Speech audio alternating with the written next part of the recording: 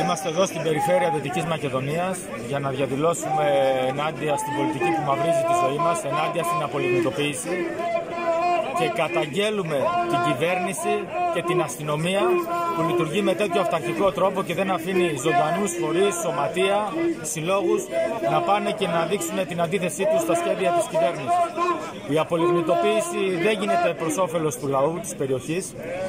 Και στην ουσία θυσιάζουν τους λιγνίτες για να βγάλουν δις ευρώ μονοπωλιακοί όμιλοι που δραστηριοποιούνται στις ανανεώσιμες πηγές ενέργειας και το φυσικό αέριο το αφήγημα της κυβέρνησης είναι η πράσινη ανάπτυξη και από την πίσω πόρτα φέρνει κάψη απορριμμάτων που είναι πιο ρηπογόνα από τους λιγνίτες.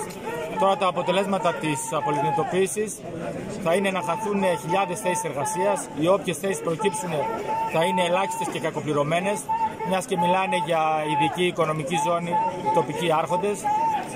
Η τοπική ε, διοίκηση έχει μπει σε ένα παζάρι και στο, το παζάρι είναι στο τι μας δίνεται για κάθε μία μονάδα που κλείνει.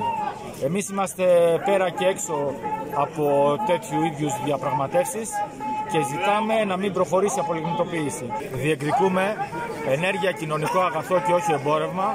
Ζητάμε να μην κλείσει κανένα νοσοκομείο στην περιοχή, μιας και είμαστε στην καρδιά του τέταρτου κύματος της ε, πανδημίας.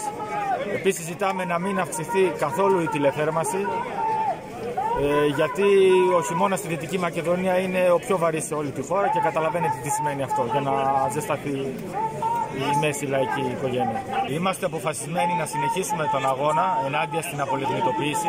Καλούμε κάθε ζωντανό σύλλογο, κάθε φορέα, κάθε συνδικάτο να συσπηρωθεί στο συντονιστικό ενάντια σε αυτή την πολιτική που μαυρίζει τη ζωή μας.